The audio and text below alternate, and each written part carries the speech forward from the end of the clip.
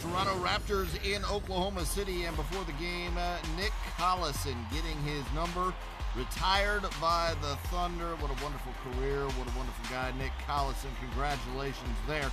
Kevin Durant in attendance to support his former teammate. Everybody loves Nick Collison. We're in the second half. Checking the pool nominee here. Russell Westbrook drives and airballs the open layup.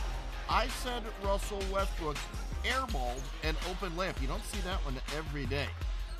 The third Raptors way out front. Kawhi Leonard hits the turnaround shot here. Tough shot. Then it's Pascal Siakam driving and laying it up and in. Siakam finished with 33 points and 13 rebounds, and Toronto up by 14.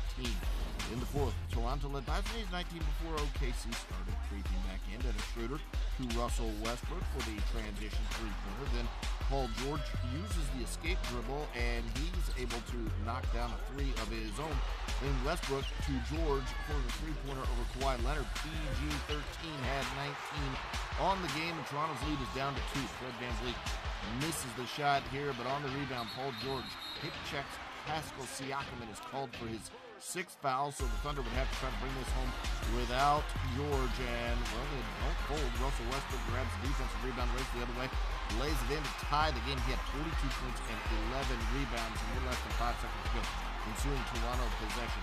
It's Siakam driving into the paint and just runs flat over Dennis Schroeder here. He gets called for the offensive foul. So the next Thunder possession. There you see the replay one more time. Just crushes right into Schroeder. The Thunder have a chance here, and Westbrook takes the shot, but it's no good. What does that mean?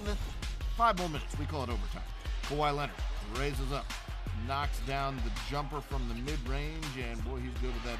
Van Vliet makes a nice move and hits the floater here, getting past Russell Westbrook. Toronto outscored Oklahoma City 13-4 in overtime. They get the win 123 to 1.